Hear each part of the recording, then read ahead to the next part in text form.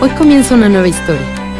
La oportunidad que hemos buscado para romper con el pasado y construir juntos ese Veracruz que todos soñamos. Nadie dijo que iba a ser fácil. Veracruz comienza con esfuerzo, comienza con ganas, comienza contigo y con todos. Veracruz comienza en ti.